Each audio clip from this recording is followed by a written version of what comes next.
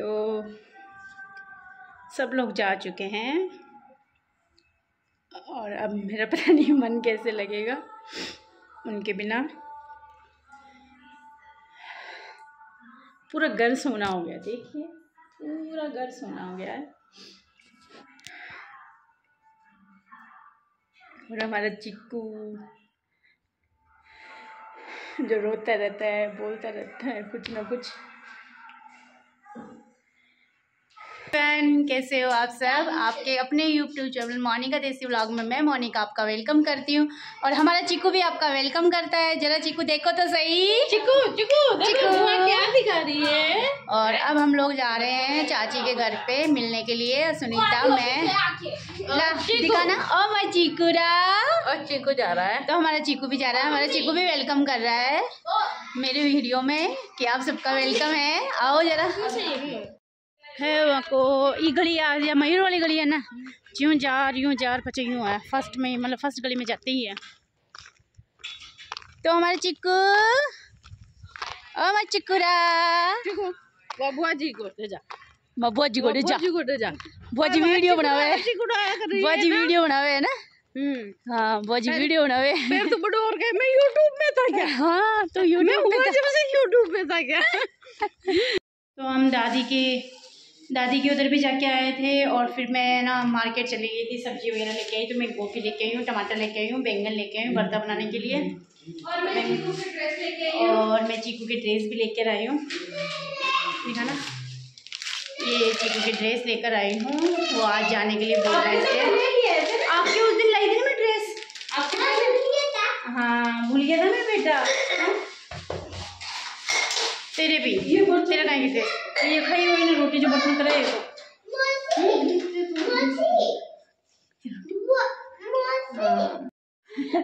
भाभी रेसिपी देकर चाय बनाए अच्छा ठीक है ये मम्मी क्या कह रही है कि चाय पे मेरी रेसिपी देख के मेरी बॉडी देखो बॉडी देखो।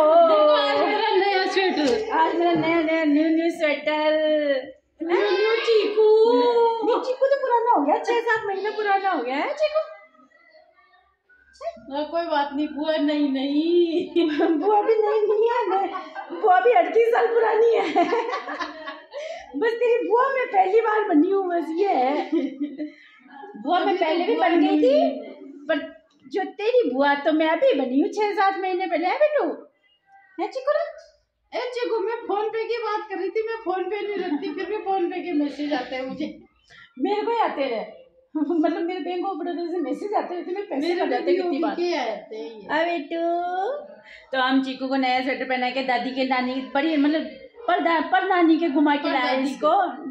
वहाँ पर दादी के। नानी के नहीं पर दादी के घुमा के लाए हम चिकुरे को। और आज हमारे चिकुरे जाएगा। है चिकुरे देखो मेरी याद नहीं आएगी कि चिकू? नहीं। आएगी मेरी बेटी को याद आएगी ना हाँ इसको तो आएगी आवाज़ कम कर दे। भाजी बना लो भाजी बना लोगे बैंगन की भाजी गई थी भाजी बना ली तो लो जी भाई, हम आ गए आज बहुत जल्दी से किचन में। किचन में आने के बाद में हम लोग बना रहे हैं आज मैं मिक्स जो मैंने दाल थी ना, चने की दाल, अरहर की दाल तुअर की दाल, सब मैंने दालें सारी मिक्स कर दी इसमें। फ़िलहाल तो सुबह गला दी थी इसको मैंने और अब पानी को छान के और उसको पीस दूँगी और इसकी बनाऊँगी पकौड़ी और बहुत टेस्टी बनती है और कबाब भी बनाना चाहो ना तो कबाब भी बहुत टेस्टी बनते हैं। तो अब ये जो भी बोलेंगे ना बच्चे, वो मैं बना दूँगी अभी। और साथ में गोभी की सब्ज़ी बनाऊँगी और बैंगन के लाए हम भरता। तो भरता भी बनाएँगे। तो बच्चे क्या खाना पसंद करेंगे? कबाब खाना पसंद करेंगे तो मैं कबाब बना दूँगी। और अगर बच्चे खाएँगे नहीं पकौड़ी खानी है तो पकौड़ी खा लेंगे। दूध अपनी छोड़ के सुनता? और इसमें करेगी सुनीता मेरी हेल्प। करेगी? बिल्कुल बिल्कुल बिल्कुल बिल्कुल। तो कर लेते तैयारी क्योंकि टाइम लगेगा। और ये आज ही जाने के लिए बोल रहे हैं सबके सब तो इस हिसाब से पाँच बजे तक इनको फ्री करना है खाने से। तो मैंने सोचा कि चलो बना लेते हैं। और बाहर आई बच्चों की बहुत तेज आवाज़। लो जी, लग जाते हैं फटाफट काम में, क्योंकि काम किए बिना तो काम होगा नहीं बैठे रहने से, क्योंकि जाएँगे तो फिर सोचना पड़ता है। और फिर सब लोग हैं ना तो खाना बनने में भी टाइम लगेगा सबका, इसलिए लग गए हैं फटाफट से सुनीता और मैं। तो सब्ज़ी वगैरह तो प्रिपरेशन करके रख लेंगे अभी। और जब आएँगे ना, जब बस सिर्फ़ खाना बनाने का ही काम रहेगा मतलब रोटी रोटी उतारने का या फिर पूरी बनाने का, जो भी बनाएँगे ना, वो आने के बाद ही रहेगा, बाकी पहले सारी सब्ज़ियाँ वगैरह जो दो तीन सब्ज़ी बनानी वो बना लेंगे और फिर बाकी काम बाद में करेंगे। तो बैंगन पे मैंने अच्छे से तेल लगा लिया है, ये देखिए, और अब इसको मैं भूनने के लिए गैस पर रख देती हूँ। और एक तरफ़ मैं बना रही हूँ सब्ज़ी, ताकि दोनों काम हो जाएँगे, और इसके बाद में फिर ये जो मैंने पकौड़ी का गोल तैयार किया है और दाल वाली पकौड़ी बना रही हूँ मैं। मूंग की दाल है इसमें तुअर की दाल है सारी दालें मिक्स की थी मैंने, चने की दाल सब। और अगर कबाब बनाने होंगे ना तो इसमें थोड़ा सा मैं बेसन मिला दूँगी तो ये टाइट हो जाएगा, इसका पेस्ट बिल्कुल गाढ़ा हो जाएगा, कबाब बनाने जैसा। तो देखते हैं बच्चे क्या बोलते हैं। अभी तो फ़िलहाल तैयारी करके रखती हूँ और सब्ज़ी सब्ज़ी मैं बना ही लेती हूँ। आटा लगा लेती हूँ, सब्ज़ी बना लेती हूँ, ये काम कर लेती हूँ, बर्तन धो लेती हूँ तो ये काम पहले फ्री हो जाएगा ना तो फिर दिक्कत नहीं आएगी, फिर जो बनाना होगा, फटाफट बना के बच्चों को खिला दूँगी। और बैंगन भुन रहा है, देख लीजिए। वैसे भी बैंगन को भूनो नहीं ना, अच्छे से भून के, जला के, राख करके बाहर का छिलका अच्छे से जला देना चाहिए, तब जाके थोड़ा टेस्ट आता है। और इसको अगर चूल्हे पे आप अगर भूनोगे ना तो और ज़्यादा टेस्ट आता है। सच में, घर पे जब जाते हैं, मम्मी के यहाँ तो चूल्हे के राख में रख देते हैं। मतलब आधे घंटे तक गाड़ी के रख देते हैं, अंदर, राख के अंदर। तो वो जलता नहीं है। पर अच्छे से भुन जाता है, पूरा अच्छे से, और इसके सारे मसाले तैयार कर लिए। तो खैर, गाँव में जो खाना बनता है, खैर उसका टेस्ट ही कुछ अलग ही होता है, उसकी तो बात ही अलग होती है, जो चूल्हे पे खाना बनता है, खैर। और अब क्या करें, अब चूल्हा कहाँ से लाएँ? लाएँगे जब घर बनेगा, जब चूल्हा वहाँ पे भी लाएँगे, खैर। क्योंकि चूल्हे का खाना बनाने में मुझे भी बहुत अच्छा लगता है, चूल्हे पे खाना बहुत टेस्टी लगता है इसलिए। तो सब्ज़ी धुल गई है, और ये देखिए, कढ़ाई का कुंडा टूट गया है, अब तो कुछ नहीं हो सकता, टूट गया तो टूट गया है, अब आएगा नया। जब आएगी नहीं कढ़ाई, जब देखा जाएगा, बाकी सब्ज़ी बनाने लायक तो है सब्ज़ी आराम से बन सकती है, ठंडे टूटने से क्या होता है, इतनी सब्ज़ी तो वैसे भी नहीं बनती मेरे घर में। दो चार लोगों की सब्ज़ी बनती है, वैसे भी इतनी सी सब्ज़ी बनती है कुंडे से कुछ भर के वैसे भी बाहर आएगा नहीं, इसलिए मुझे कोई फ़र्क पड़ता नहीं है कि कढ़ाई का कुंडा टूट गया, नया लाना नया लाना, ऐसा कुछ नहीं है। खूब सारे बर्तन हैं, कढ़ाई कढ़ाई में बनाने ज़रूरी नहीं है, कुकर में बना सकते हैं, बाकी मेरे पास में और भी बर्तन है, उसमें बना सकती हूँ आराम से सब्ज़ी, इसलिए इतना ज़रूरी नहीं है कि बाकी बना लेती हूँ उसमें। तो हमारे बैंगन भुन के, रात के, जल के खाक हो चुका है। तो अब इसको रख देंगे हम कुछ देर लिए ठंडा होने के लिए। उसके बाद में इसका करेंगे।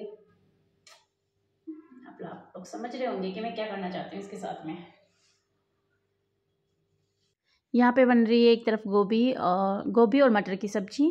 आलू नहीं नहीं डाले हैं क्योंकि गोभी बहुत सारी हो गई थी और दूसरी तरफ़ मैं तड़का लगा रही हूँ बैंगन के भरते के लिए। तो बैंगन के भरते में मैंने लहसुन, प्याज, हरी मिर्च सबका तड़का लगा दिया है। उसके बाद में मैं सारे मसाले ऐड कर दूँगी और फिर बैंगन का भरता जो भून के रखा था वो ऐड कर दूँगी।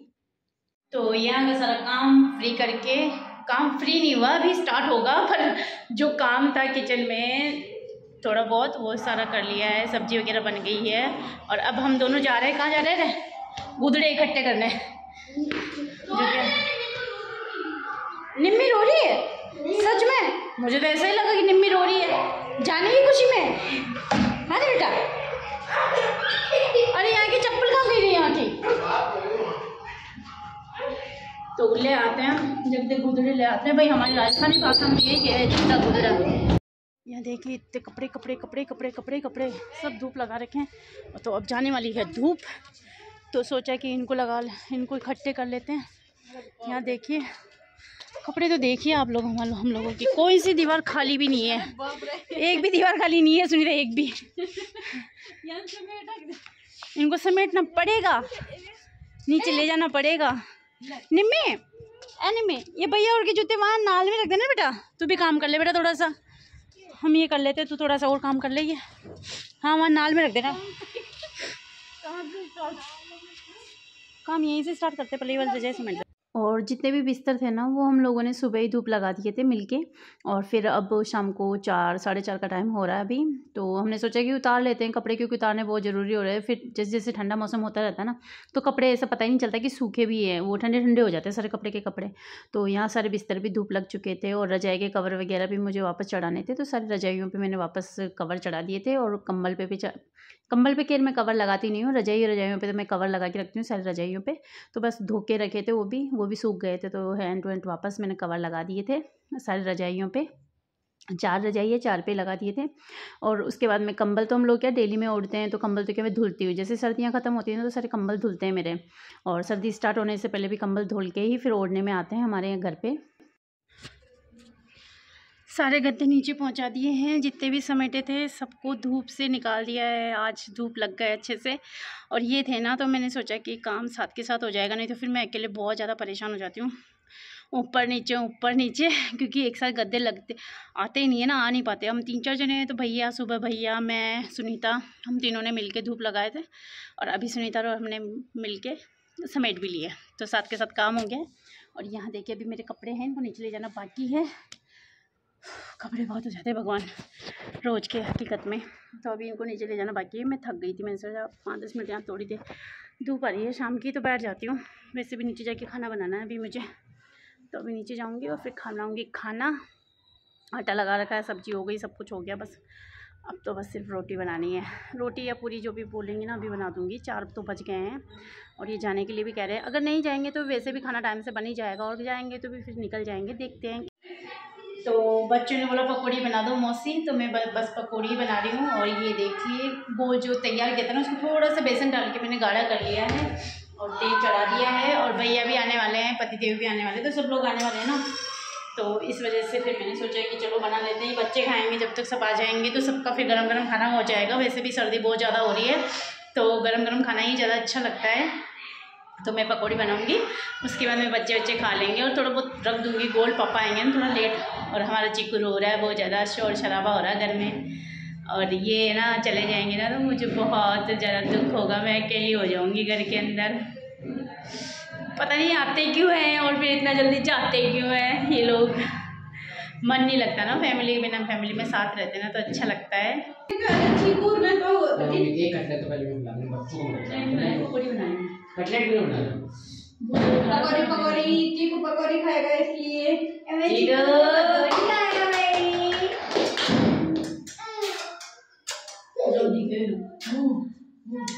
बच्चों के लिए मैं पहले बना देती हूँ मछली के पापड़ उसके बाद मैं निकालूँगी पकौड़ी क्योंकि पापड़ में बिज़ी हो जाएँगे ना तो पकौड़ी के लिए जल्दी चिल्लाएँगे नहीं बच्चे। सबसे आसान काम होता है बच्चों को चुप कराने का कि पापड़ तल दो।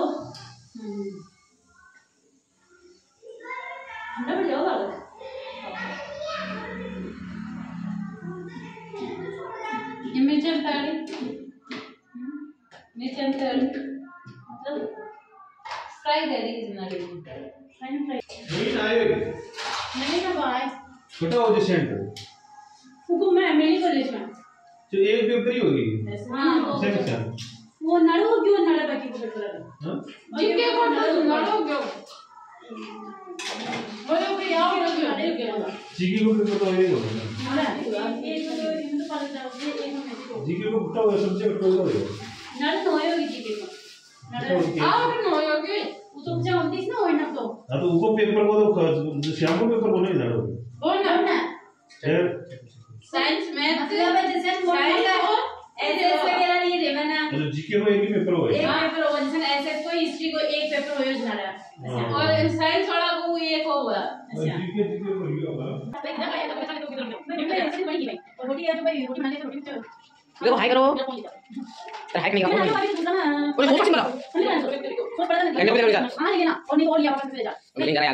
और यहाँ पे देखिए सब लोग है ना किचन में आना शुरू हो गए थे। जैसे जैसे पकौड़ी निकल रही थी पूरी निकल रही थी। जिस जिसको खाना था ना मेरे घर में यही होता है। ऐसा नहीं है कि बैठ के खाते सब चलते फिरते घूमते फिरते खाना खाते रहते हैं। जिसको बैठना होता है वो इकट्ठा ले जाता है फिर बैठ के खाता है फिर उठ के आता है फिर किचन से ले जाता है।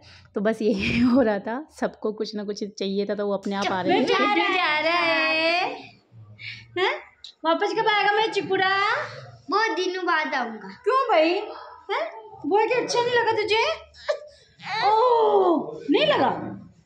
लगा है पर मैं आपको छोड़ के जाऊँगा। तो अभी ये लोग जा रहे हैं। है निम्मी जा रही है? हाँ। मौसी को छोड़ के? हाँ। मैं बहुत रोऊँगी। मैं भी रोती मैं भी रोऊँगी। मुझे बहुत याद आएगी तुम लोगों की। हैं? ऐसे छोड़ के क्यों जा रहे हो तुम लोग? मेरे मेरे को होमवर्क करना है। हाँ मम्मा। मेरी आँखों में आँसू आ गए खूब सारे। आई। तो ये जा रहे हैं अभी शाम रात के टाइम पे मैंने मना किया था कि सुबह चले जाना पर फिर भी अभी जा रहे हैं सबके सब। हम्म, मैं चिक्कू जा रहा है मैं बेटू जा रहा है।